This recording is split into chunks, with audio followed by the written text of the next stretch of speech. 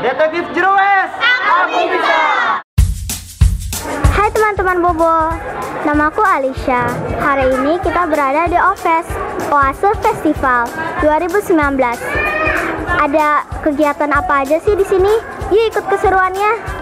Sebelum nonton videonya, subscribe dulu channel Bobo yuk. Aktifkan loncengnya ya. Lalu, jangan lupa juga like dan share video ini. Terima kasih.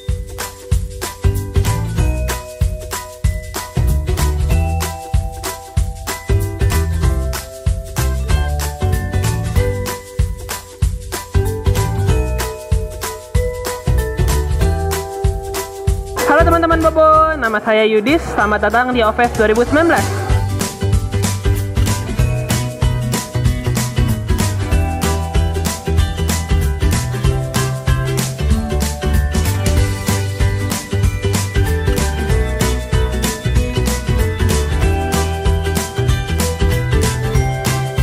OFES adalah sebuah kegiatan seru yang diadakan oleh teman-teman dari Pramuka Oase. Kami adalah komunitas pramuka dari usia 11 sampai 17 tahun dan selamat datang ke kegiatan kami. Kegiatan kami ada dua, yaitu seminar dan petualangan 4.0. Di seminar kami eh, orang tua orang tua dari klub Oase bercerita tentang pengalaman mereka menjalankan homeschooling kepada orang tua orang tua lain. Sedangkan eh, di belakang sini kita ada petualangan 4.0 yang diikuti lebih dari 300 anak. Petualangan 4.0 ini adalah kegiatan yang digagas oleh kami di mana kami berusaha untuk mengajak teman-teman kami di sini untuk peduli pada masyarakat, peduli pada lingkungan, peduli pada hoax dan sebagainya. Kita ada empat jenis kegiatan. Yang pertama adalah Aku Indonesia. Di sini ada kegiatan seperti talang bencana, lalu eh, bagaimana cara membuat origami eh, menggunakan daun. Lalu kita juga ada Oase Media yang berusaha untuk mendorong konten-konten kreatif.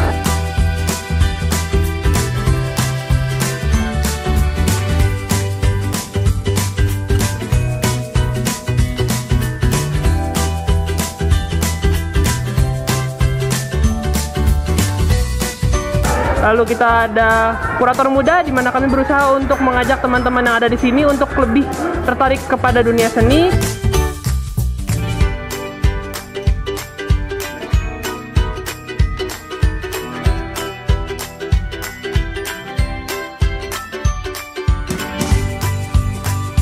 Lalu kami juga ada deteksi zero waste di mana kami mengajak teman-teman untuk lebih peduli pada lingkungan, berusaha untuk memilah sampah, lalu memastikan bahwa dunia ini tetap eh, bersih dari sampah.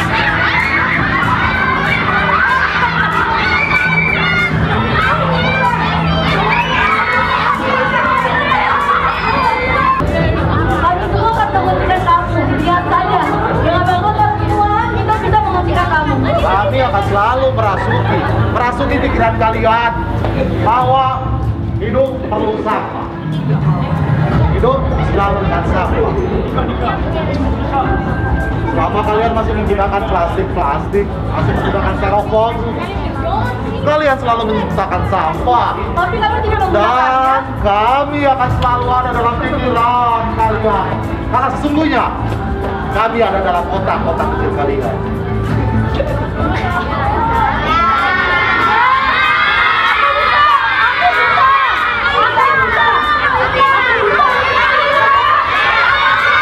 Detektif Jeroes, aku bisa. Halo, namamu siapa? Fania. Namaku Kaila. Kalian dari kelompok apa? Ceritain dong. Aku Indonesia. Aku juga aku Indonesia. Jadi itu kayak kita harus complete challenge challenge-nya.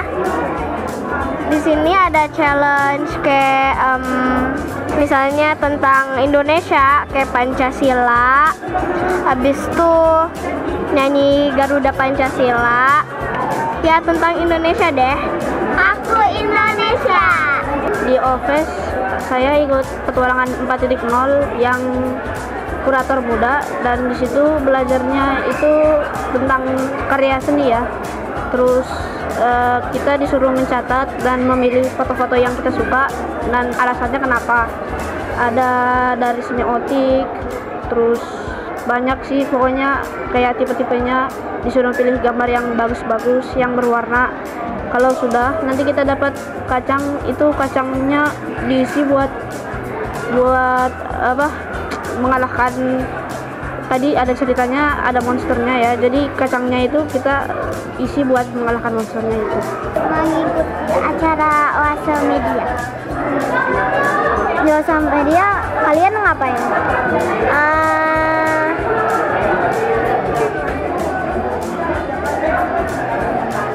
mewawancarai orang. hal yang paling kalian suka ngapain Eh, mewawancarai orang.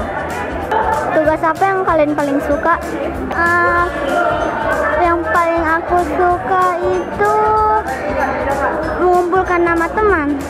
Eh, yang itu tempat tempat apa ada berapa terus ya pokoknya gitulah hal apa yang kamu paling sukain di office ini Eh, main board game sama main board game Oase Festival itu apaan sih? Ya, Oase Festival adalah kegiatan para remaja homeschooling. Jadi, dalam Oase Festival ini, para remaja homeschooling yang usia sekitar 11 sampai 17 tahun sedang belajar berorganisasi. Mereka belajar untuk membuat acara. Acaranya dua hari, ada pameran, ada seminar, ya, ada kegiatan petualangan dan yang lain-lain. Selain itu, di dalam acara Oase Festival ada orang tua yang belajar bersama tentang pendidikan baik itu homeschooling dan kemudian ada cerita-cerita tentang kita ini sedang berubah loh kondisinya gitu. sehingga kita harus belajar juga untuk berubah supaya pendidikan yang kita jalani bersama dengan anak-anak bisa menjadi lebih baik. Di dalam acara Oase Festival ini eh, ada proses belajar tentang kreatif eh, tentang critical thinking. Belajar berpikir kritis. Jadi adik-adik belajar orang tuanya juga belajar supaya kita tidak hanya menerima informasi yang apa adanya. Tapi kita bisa berpikir kritis supaya kemudian bisa memilih mana yang baik dan yang buruk yang benar dan yang salah. Juga belajar berkolaborasi. Ya berkolaborasi itu berarti belajar bekerja sama. Bekerja sama menjalankan event menjalankan acara ini juga belajar bekerja sama di dalam proyek-proyek misalnya bikin video bareng bikin pameran bareng dan sebagainya. Kak Santi, hal-hal apa saja yang ingin dibagikan untuk adik-adik peserta OVES ini?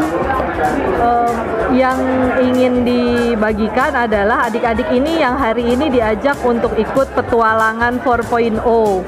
Petualangan 4.0 itu mengajak adik-adik bekerja sama menyelesaikan misi untuk eh, melawan ketidakbaikan. Jadi ini ada tokoh yang suka menyebarkan hoax, suka buang sampah sembarangan, dia sukanya plastik, lalu dia juga eh, tidak suka seni. Nah, adik-adik di sini main games, tapi sambil sebenarnya belajar untuk mengerti bagaimana kita mengurangi sampah, lalu bagaimana membuang sampah kalau ada itu secara terpilah sehingga bisa didaur ulang. Tapi semua itu lewat permainan. Lalu juga mereka belajar untuk memahami pameran eh, foto. Sebenarnya dilatih adalah kemampuan untuk mengamati, observasi, lalu berpendapat, berani bicara dengan orang lain, saling berkenalan. Itu yang ada di OVES 2019 untuk adik-adik peserta.